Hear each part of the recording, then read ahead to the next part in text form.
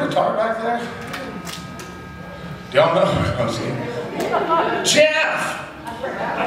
Two seconds. Hey, play me some Jeopardy music or something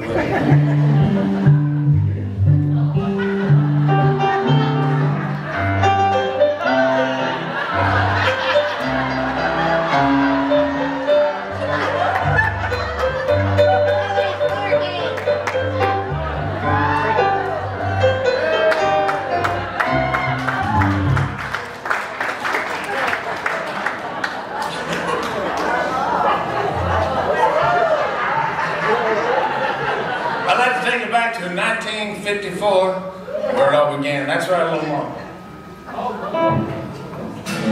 more.